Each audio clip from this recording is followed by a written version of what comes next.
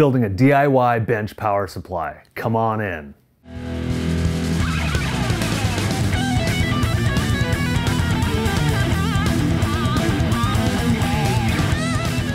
Welcome to Maker's Digest. Today we are going to convert a computer power supply into a benchtop power supply. Computer power supplies are capable of providing a ton of current and usually offer 3.3, 5, and 12 volts. You can get different voltages out of them, but these are the three that I work with the most. I've used nice variable voltage and variable current benchtop power supplies, and we have one at the shop, but I find that I usually just set it to one of these three voltages and leave it there. And in the spirit of the channel, I figured it would be fun to make the bench power supply that we use here on Maker's Digest. And a word on safety. This can be a dangerous project. I consider this high voltage. I know my electrician friends are probably laughing at that, but getting inside one of these power supplies can be dangerous. So here's my disclaimer. Don't try this at home. I know what I'm doing and I understand the risks. I've been working with this stuff for long enough to know what I can touch and what I can't when I can touch it, and maybe most importantly, when I can't touch it. I can't stop you, but if you do decide to muck with a project like this, know what you're doing. And if you don't, find someone that can help you. Electrician friends are good to have. This is less of a tutorial and more of just a build video. There's some 3D printed parts, wiring the power supply and mounting it to the bench. So come on in and let's see how I put together my version of the ATX power supply. All right, let's dig in and see what we got here. I picked this power supply up from a surplus store. Uh, it was in a bin, like this gigantic bin of probably two or 300 power supplies. And I rooted around and found a small one. I know I don't need a ton of wattage. I just need something small that works. Uh, let's, let's see what we got. Looks like it's from HP some kind of small desktop. Uh, let's see, total 200 watts. Yeah, so this is a pretty small power supply by today's standards. Uh, it shows here on 5.08 volts, we've got 10 amps, 3.3 volts, 12 amps, and 12 volts, 15.5 amps. Way more than I'm gonna need for this bench. Uh, you know, I've worked with projects that use more than that, but we're going to be fine with this. Uh, let's see. So it's got a fan. I turned this thing on already and it's really noisy. So I decided that I want to switch this fan. So we're going to pull this yellow wire here is uh, 12 volts and we're just going to switch it so we can turn the fan off and on. I've opened these things up before plenty of times, and I know that many of these, like orange here is, uh, let's see, orange is 3.3 volts, and there's a bunch of them, and red is 5 volts, there's a bunch of those. In here on the PCB, it's just like a solder blob, or there's multiple connectors on the same bus. We'll just get rid of most of those and have one orange, one red, and then yellow is 12 volts here.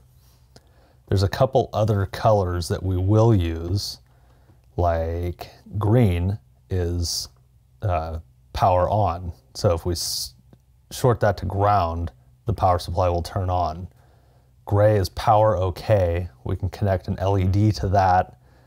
When the power comes on, the LED will come on. So just so we have a visual indicator that there is power. Uh, let's see, what other cool things can we use? That's about it.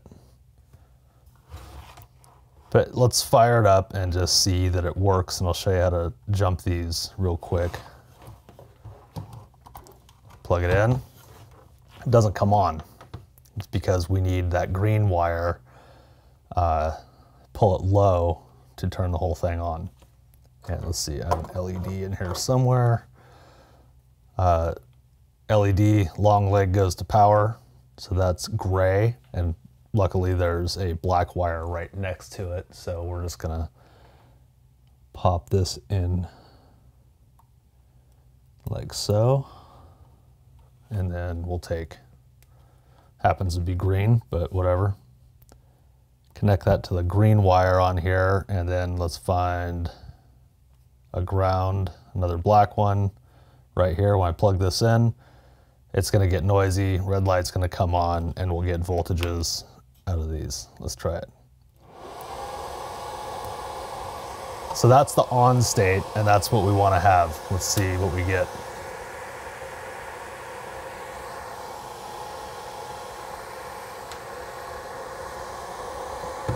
What do we got here?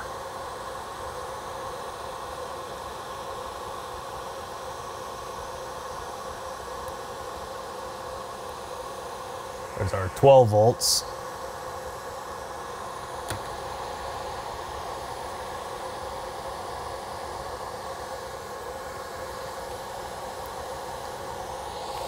And let's find our 12 volts over here. Okay.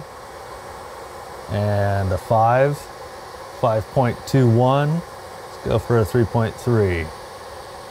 3.370. Those are the ones that we're going to use.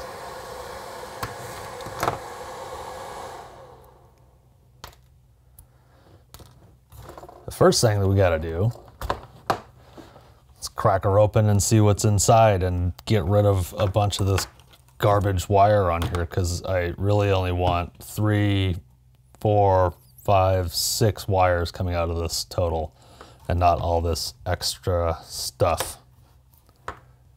Let's dig in.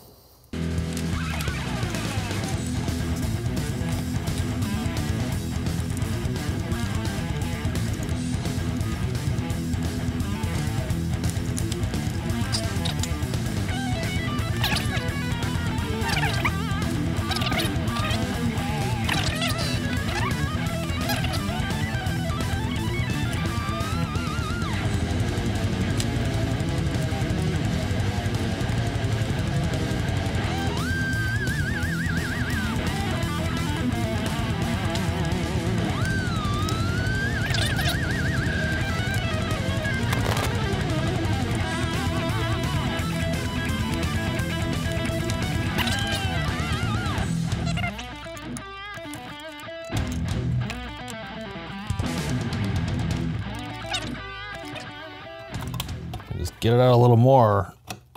There we go. There we go. That's good enough.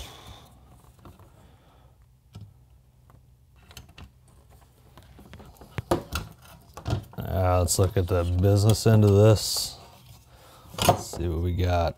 Big old blobs here where these uh, big connectors are.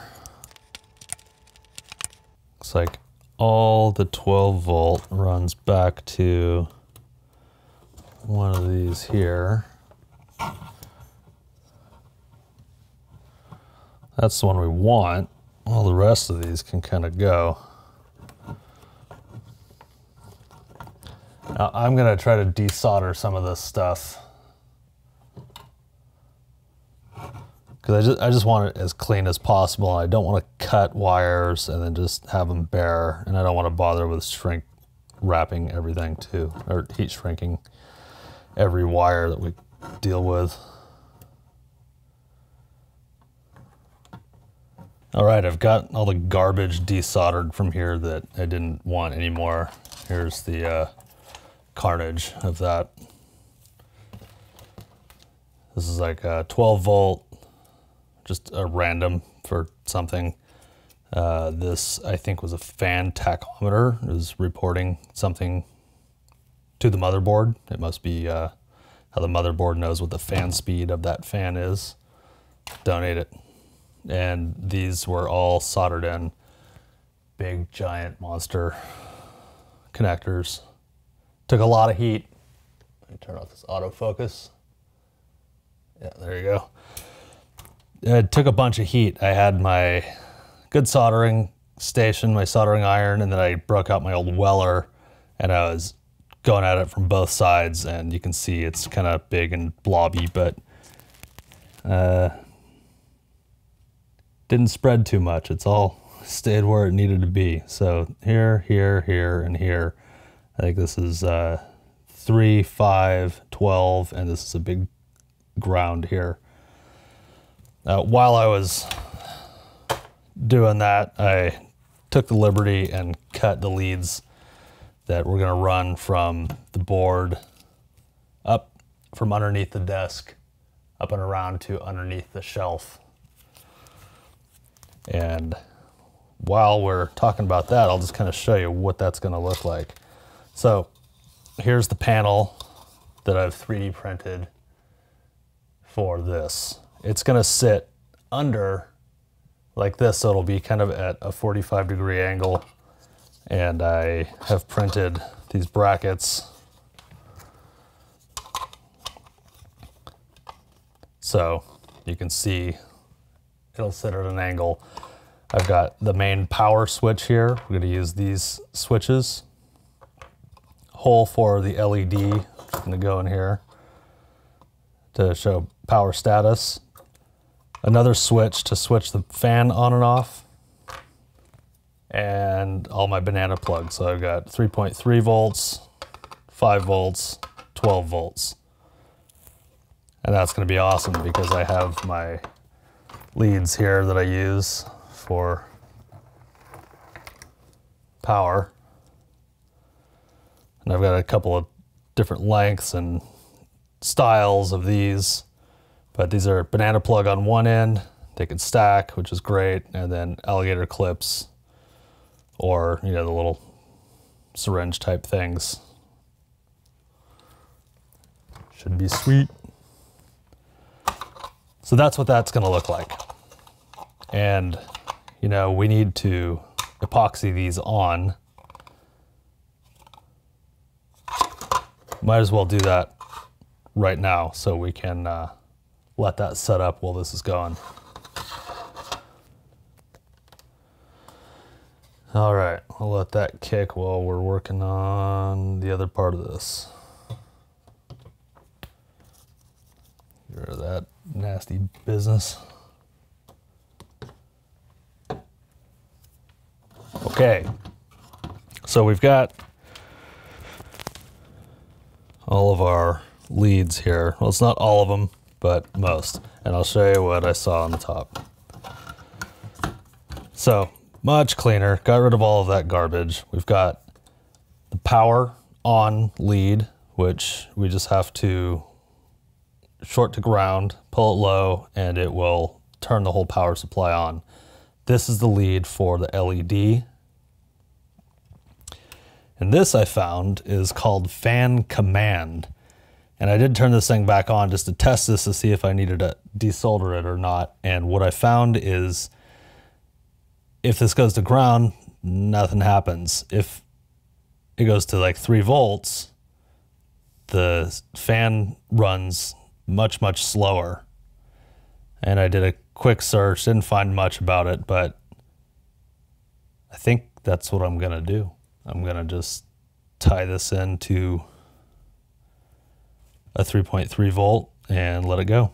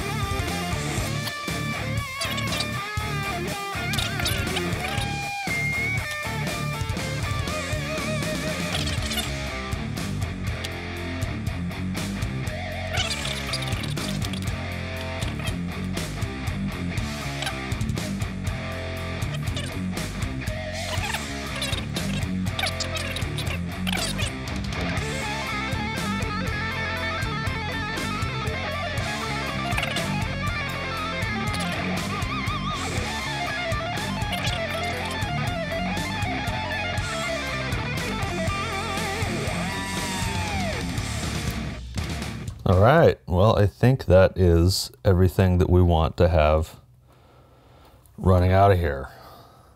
Uh, it's been all night, so that epoxy should have kicked off by now. Let's get some zip ties and we'll manage that a little bit better here. Let's mount that back into the case. So we're all set and good on that side.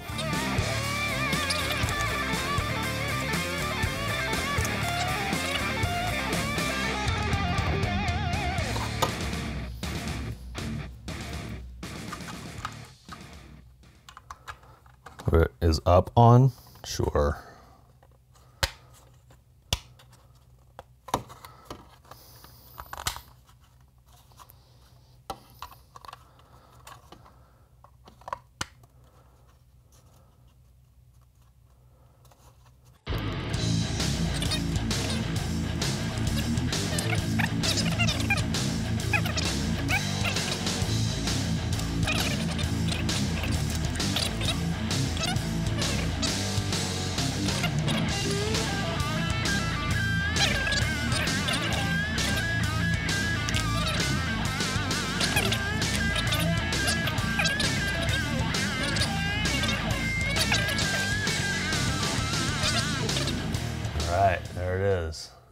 The control surface. Got our main power on, and this is uh, fan shut up. The shut up fan switch. Let's wire up the switch first so we can turn it on and see if it turns on.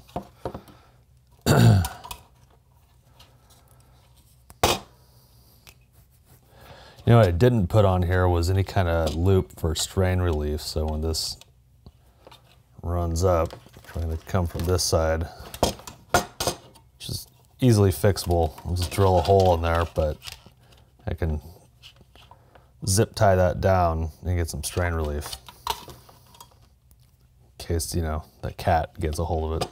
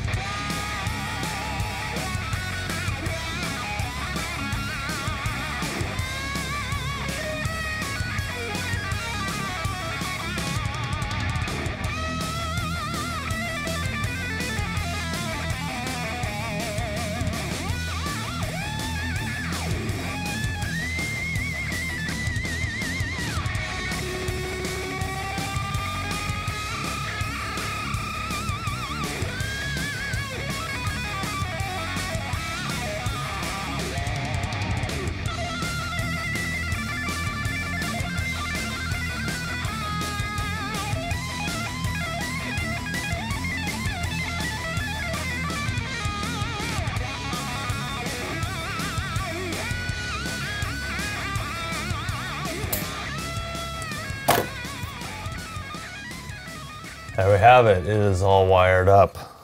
Uh, I turned autofocus on, see if I can give you a better look.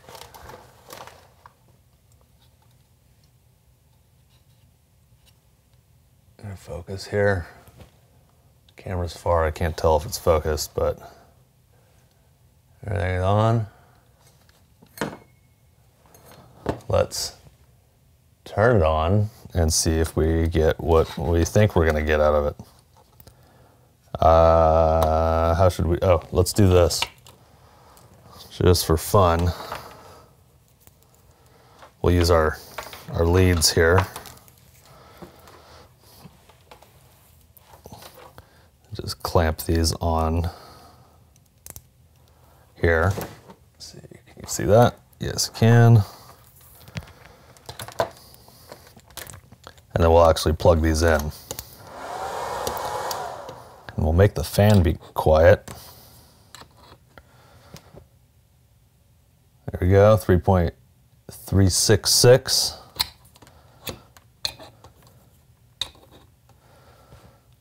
Five point one seven.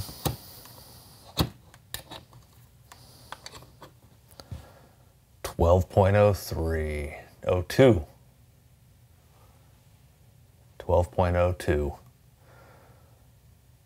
I just realized I forgot to hit record on the audio recorder, so we'll see what kind of audio quality on this last 14 minutes. I think much of it was uh, time lapse, anyways, but uh, it does put a little load on it.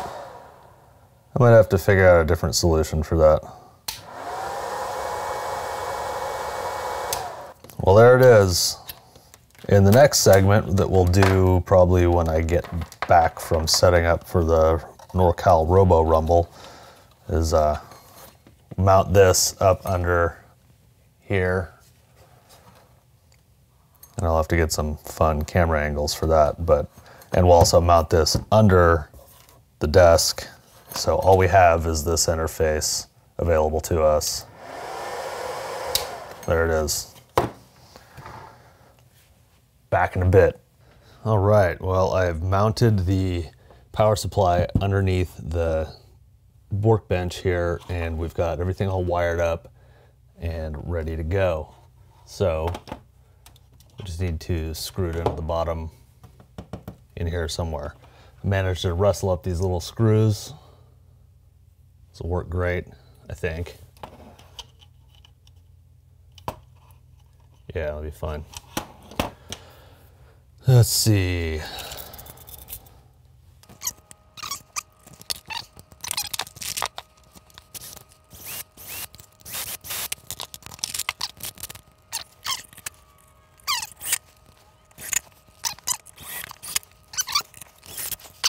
Got our test leads connected here.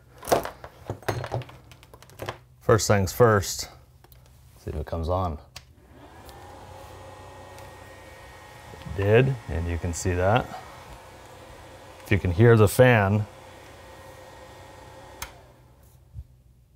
fan off. That's better. Let's see what we get.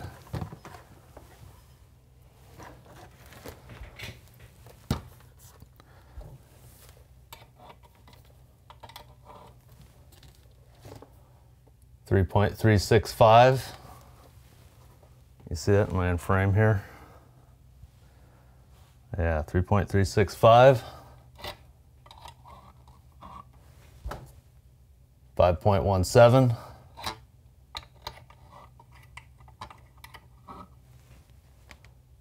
Twelve point oh two. Nice. Well, there it is. I am pleased with that. Let's let's label it correctly. There, that's better. We've got them labeled 3.3 volts, 5 volts, 12 volts, power, and STFU for uh, silent temporary fan unit. That's what that means because it makes the fan silent temporarily. And done. We've got a new benchtop power supply. There's a link in the description for the 3D printed parts on Thingiverse and links for the other parts that I used in the project below. If you like this video, please consider subscribing and ringing the bell so you get notified when new episodes are available. Thanks for watching, and until next time, keep making.